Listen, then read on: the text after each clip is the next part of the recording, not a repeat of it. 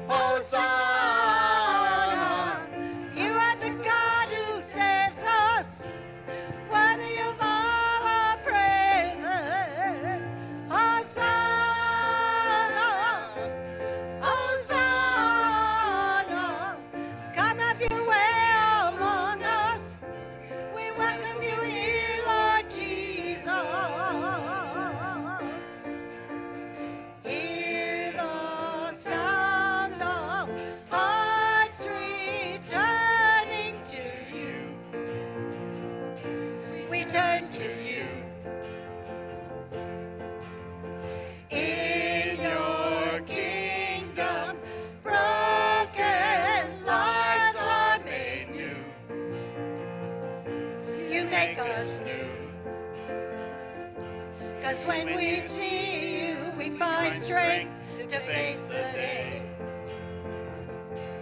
In your presence, all our fears are washed away. Washed away.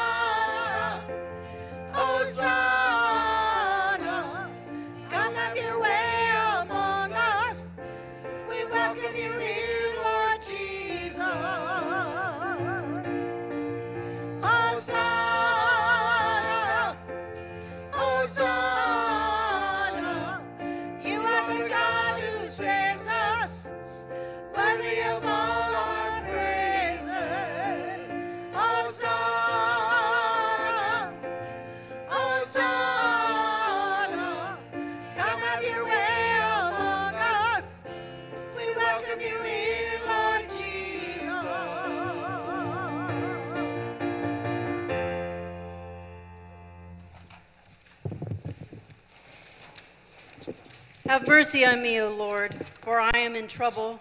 My eyes consumed with sorrow, and also my throat and my belly. For my life is wasted with grief, and my years with sighing. My strength fails me because of affliction, and my bones are consumed. I am the scorn of my enemies, a disgrace to my neighbors, a dismay to my acquaintances. When they see me in the street, they avoid me. Like, Like the the dead, dead, I I am am forgotten.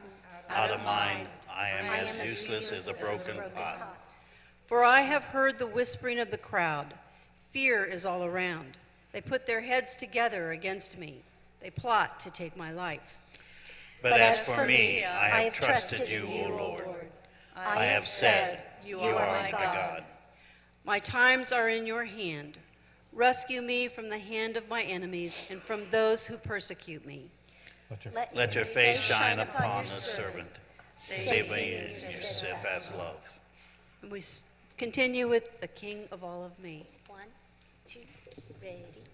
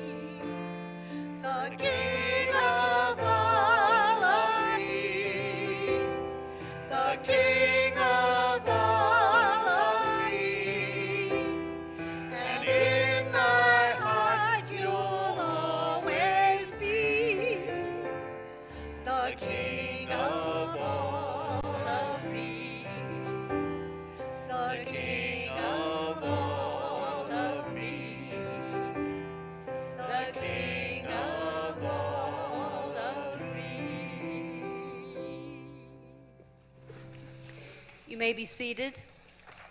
We'll continue our, pra our praising with That's Why We Praise Him.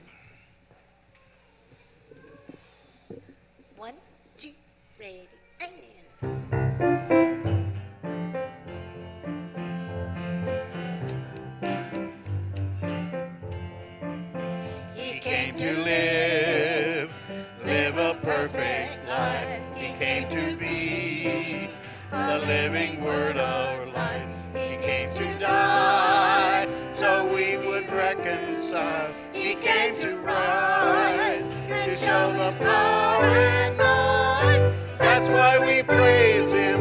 That's why we sing. That's why we offer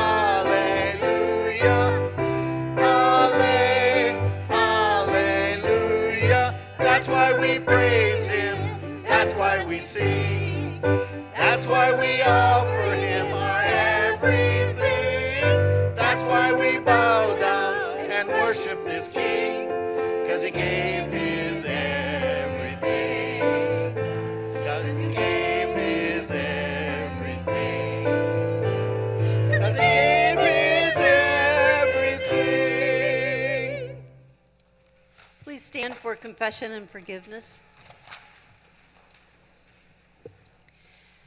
Blessed be the Holy Trinity, one God, who brings us out of captivity into freedom, out of the wilderness into the promised land, out of death into life. Amen. Let us confess our sin in the presence of God and of one another.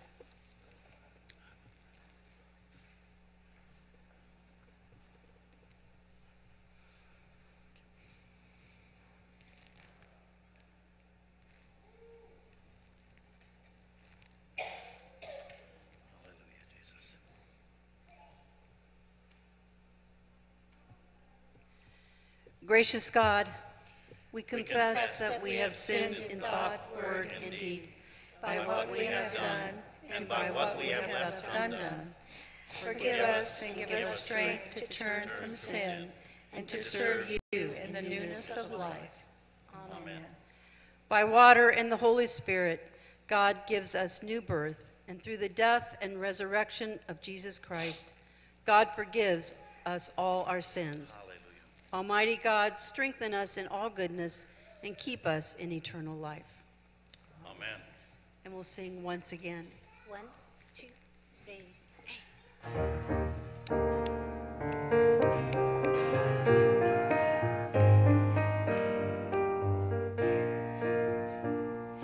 Jesus Christ, I think upon your sacrifice. You became nothing, poured out to death. Many times I've wondered at your gift of life, and I'm in that place once again. And I'm in that place once again. And Once again I look upon the cross where you died. I'm humbled by your mercy and I'm broken inside. Once again I thank you. Once again I pour out my life. Now you are exalted in the highest place, King of the heavens, where one day I'll bow.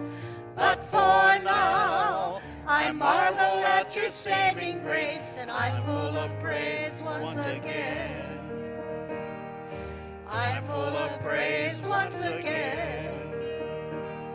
And once again I look upon the cross where you died.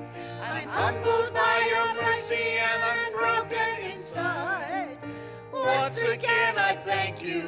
Once again I pour out my life. Thank you for the cross. Thank you for the cross. Thank you for the cross, my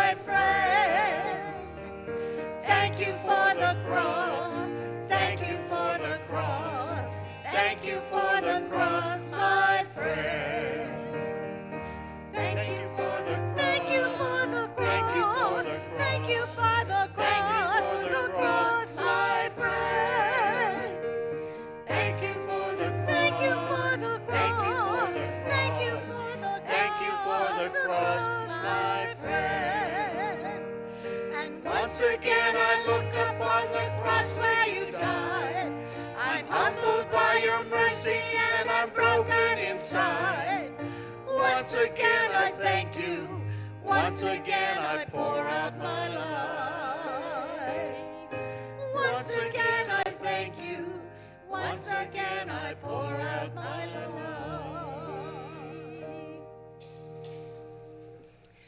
Let us pray. Everlasting God, in your endless love for the human race, you sent our Lord Jesus Christ to take on our nature and to suffer death on the cross. In your mercy, enable us to share in his obedience to your will and in the glorious victory of his resurrection, who lives and reigns with you and the Holy Spirit, one God, now and forever. Amen. Would the ushers come forward to have our offering, and the Cherub Choir will be singing for us this morning.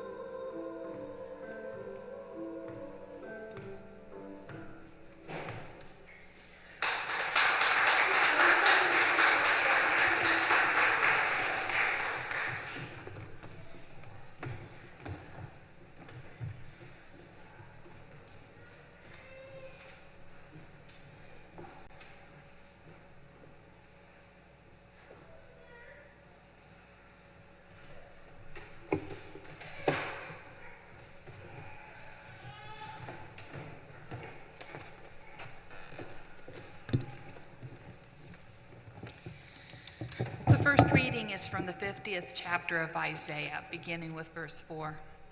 The Lord God has given me the tongue of a teacher, that I may know how to sustain the weary with a word. Morning by morning he wakens, wakens my ear to listen as those who are taught. The Lord God has opened my ear, and I was not rebellious. I did not turn backward. I gave my back to those who struck me, and my cheeks to those who pulled out the beard. I did not hide my face from insult and spitting. The Lord God helps me. Therefore, I have not been disgraced. Therefore, I have set my face like flint, and I know that I shall not be put to shame. He who vindicates me is near.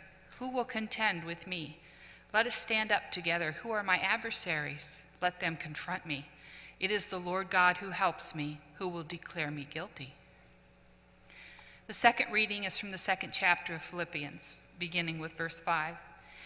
Let the same mind be in you that was in Christ Jesus, who, though he was in the form of God, did not regard equality with God as something to be exploited, but emptied himself, taking the form of a slave, being born in human likeness.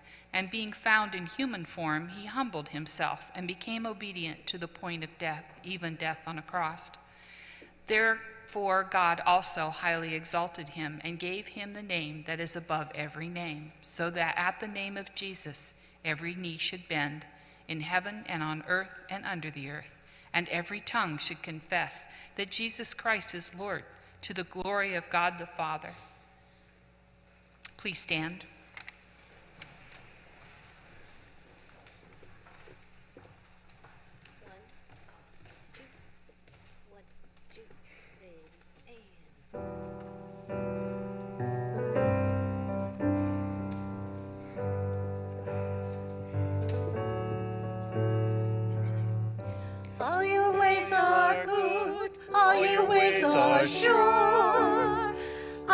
Trust in you alone. Higher than my side, high above my life. I will trust in you alone.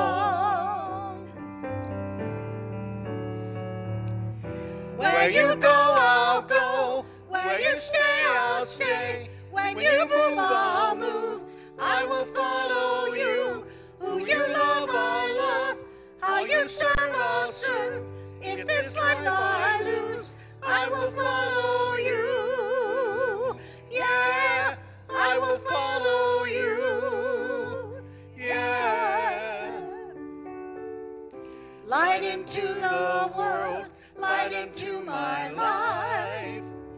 I will live for you alone. You're the one I seek, knowing I will find all I need in you alone.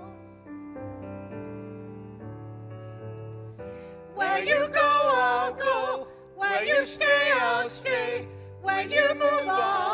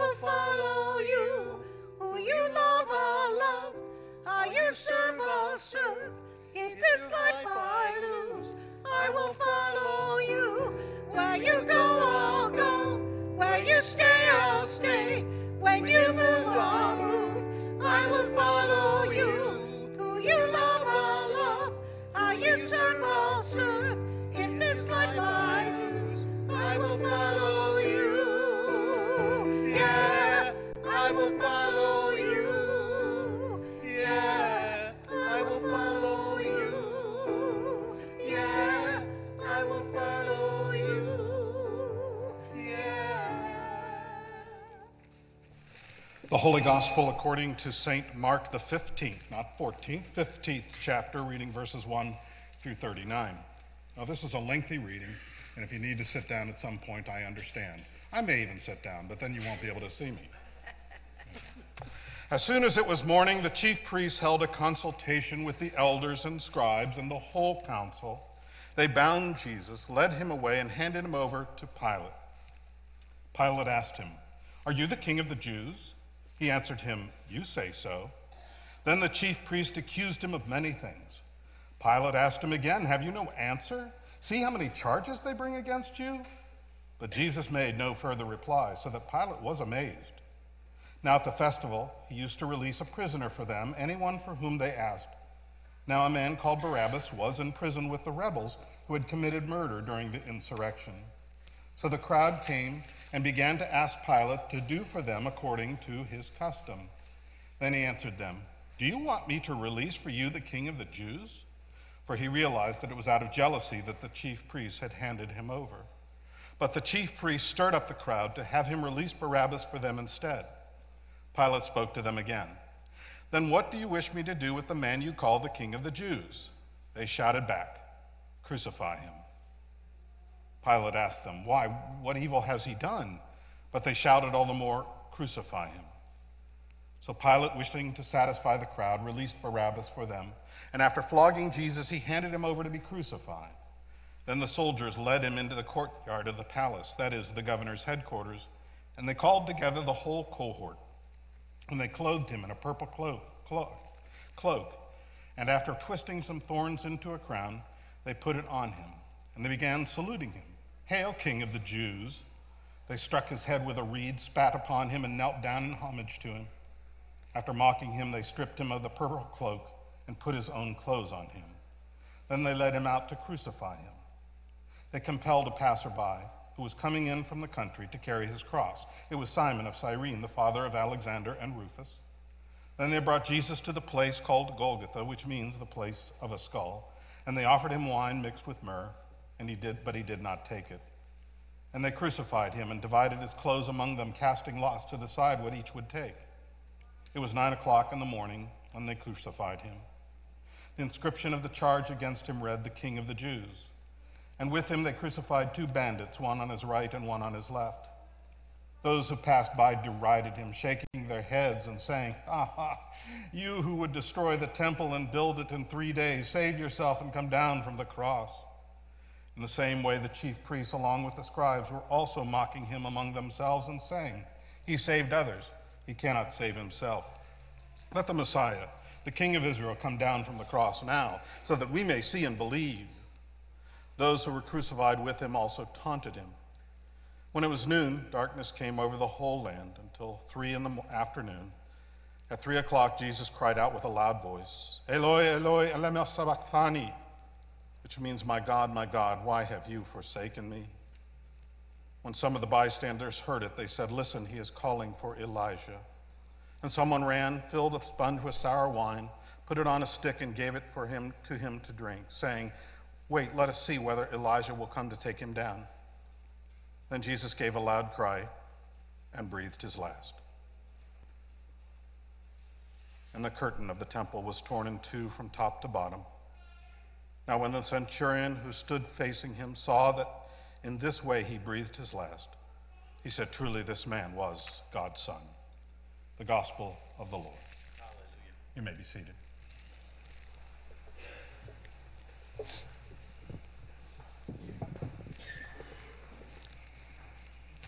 Let us pray. Good and gracious God, you bring us to this time of worship to experience more fully your walk in Jesus Christ. That walk reflected both joy and sorrow, fulfillment and pain, life and death. A walk that parallels our own.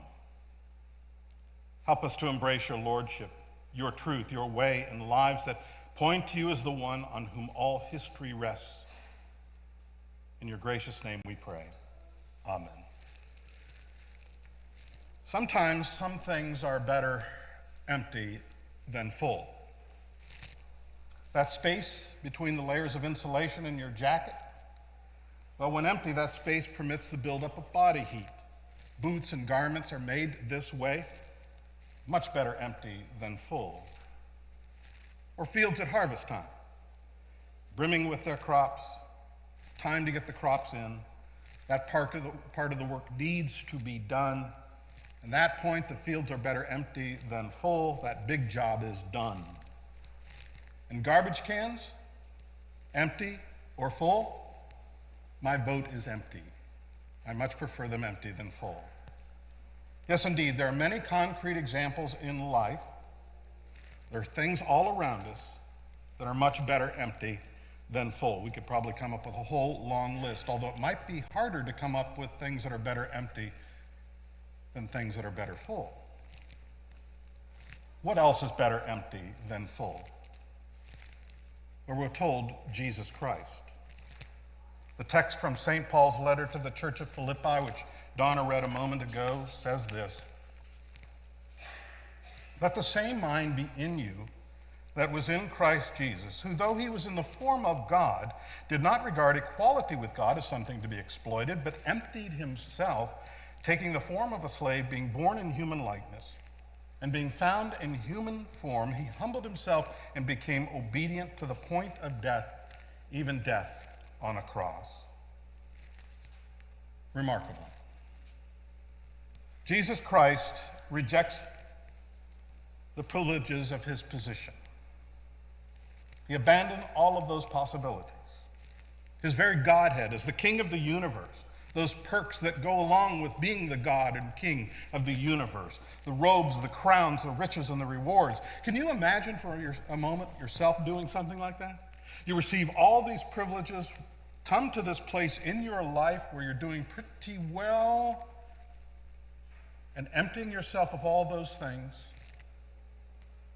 giving yourself to even those who turn their back on you, giving all you are and have to those who scoff at your teachings, sacrificing and suffering so much for those who mock what you're trying to do. I can hardly imagine it. I can hardly imagine giving myself even to those who would do those things. But Jesus Christ did. He sacrificed everything and he suffered mightily for it. Why? It's such a simple answer to save you.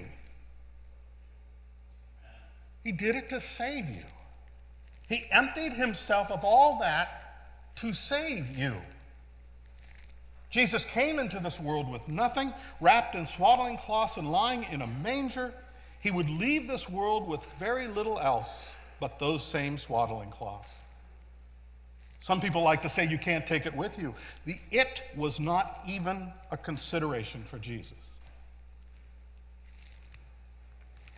St. Paul was writing to the church at Philippi to teach them of Jesus and to teach them what that means for our living in this world. And the words of St. Paul are just as relevant for us today as they ever were.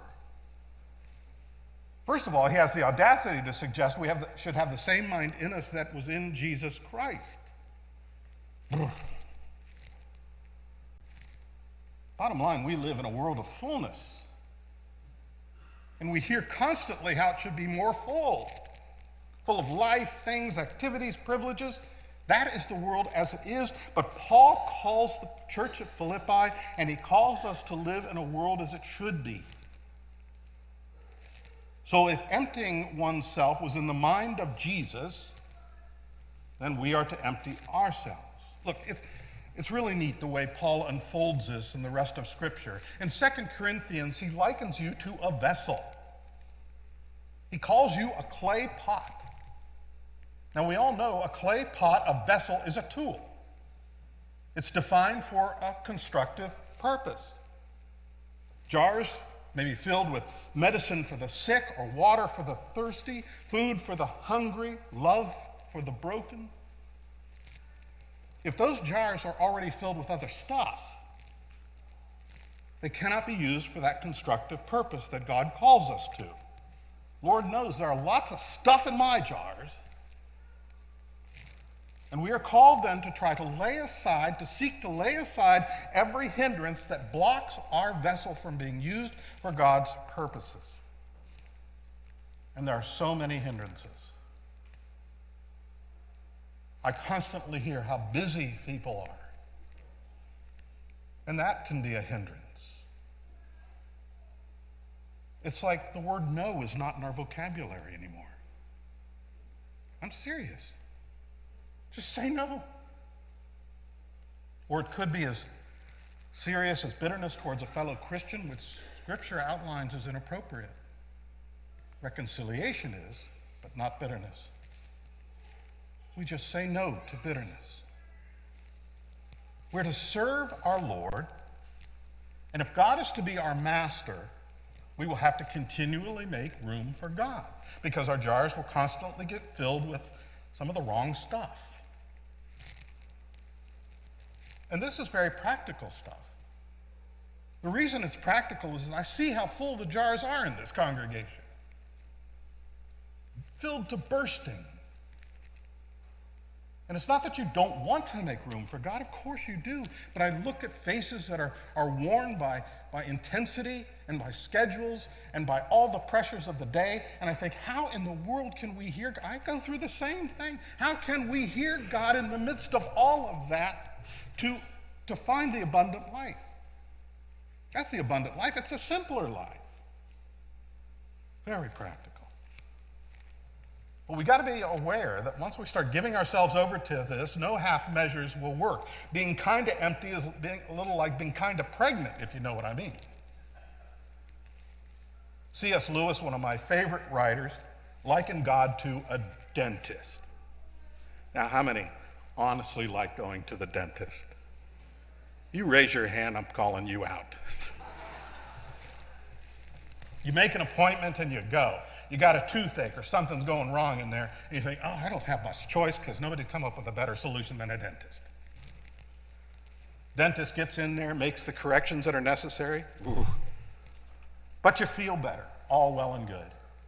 Well, if your dentist is anything like my dentist, he doesn't stop there. Oh no. He takes a tool called a probe who thought of that name for that instrument? And who thought to call it a probe in front of the patient? He takes the probe and he starts picking around at the gum line and he starts picking around at the other teeth, and you're praying to God you don't feel that horrible sense of pain that will inevitably mean a longer appointment or another appointment, God forbid. C.S. Lewis says God is like that. When we commit ourselves to Jesus Christ, we find that God will help us up and enable us to move forward in faith. And Lord knows God has put into place so many things to help us do just that. We have the Holy Spirit that graces us with God's presence.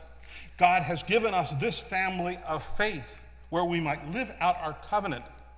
God gives us the faith in the first place at baptism, and He nourishes that faith at His holy table. All well and good. But Jesus won't stop there. He means to have all of you, not just a little bit. He means to have all of you. A piety that does not pour out itself, yes, totally empty itself out of love for others, is a faith that's only giving a little bit. It's a faith that cannot possibly grow because the jars are too full. So that is better empty than full. Jesus and us. You know what else is better empty than full? An empty cross and an empty tomb. We can just think about that. Amen.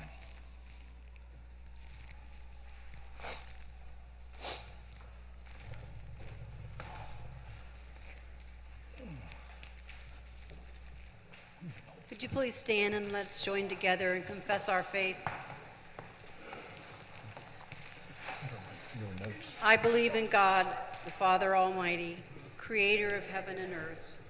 I believe in Jesus Christ, God's only Son, our Lord, who was conceived by the Holy Spirit, born under Virgin Mary, suffered under Pontius Pilate, was crucified, died, and was buried. He descended to the dead. On the third day, he rose again. He ascended into heaven. He is seated at the right hand of the Father, and he will come to judge the living and the dead. I believe in the Holy Spirit, the holy Catholic Church, the communion of saints, the forgiveness of sins, the resurrection of the body, and life everlasting. Amen. We proceed at this time with the dedication of worship furnishings. Let us please bow our heads and pray. Blessed are you, O Lord our God, King of the universe. You have enriched our lives with every good and perfect gift. You have commanded us to show your splendor to our children, to praise you with lives of love, justice, and joy. Accept these paraments which we offer in thanksgiving. May they adorn this house, show us the beauty of holiness, and proclaim the glory of your majesty. Accept as well these flower vases on the altar which we offer in thanksgiving. May they serve to increase our vision of your glory to remind us of your goodness, and to support our calling to worship you in spirit and truth. Bring us all at length to your perfect kingdom, where you live and reign with the Son and the Holy Spirit, now and forever. Amen. We are so grateful for the sacrifice of the Bull family that made these paraments and flower vases possible. Uh, if you know anything about altar furnishings or worship furnishings, and Ed Stofchek will start nodding real hard at this point because he's our financial secretary, you know how pricey they are. And so it's no small gift, but it still, still is designed to point us to Christ in any way, shape, or form that it can. Ironically, too, how lavish this gift is, these paraments are only used one day of the year. They're used on Easter, so they will be on our altar and on our bodies uh, come Easter, and so we give thanks for that. Let us continue with our prayer. We pray for the church, the congregations be a home for the lost, a haven for the oppressed, and a source of healing for those broken by life's circumstances. Today we pray especially for St. Petri Lutheran Church in Toledo and their leaders. We pray for new life springing forth from the church, for those who groan in labor, those who are adopting children, and those who are unable to conceive.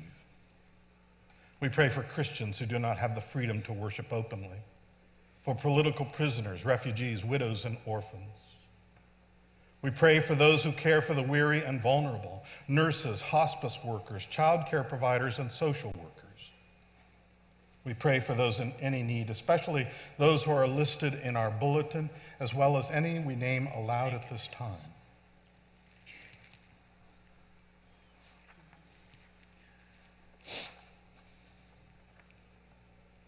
We give you thanks for the birth of Lily Ann to Mark and Ashley Kohler, and to the birth of Caden James to Kevin and Gretchen Jolla. We also pray, dear Lord, for the family and friends of Marie Gillette. We pray for those in care facilities, those bound at home and their caregivers.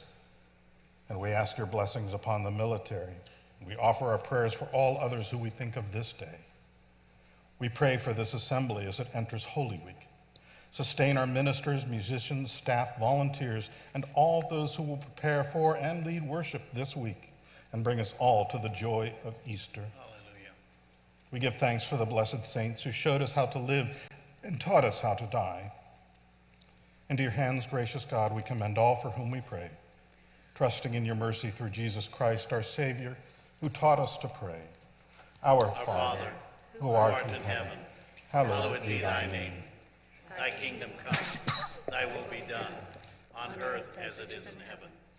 Give us this day our daily bread, and forgive us our trespasses, as we forgive those who trespass against us. And lead us not to temptation but deliver us from evil. For thine is the kingdom, and the power, and the glory, forever and ever. Amen. The blessing of God Almighty, the wisdom and power of Christ Jesus, and the light of the Holy Spirit be among you and remain with you always. Amen. We continue with Jesus Messiah. One, two, three, eight.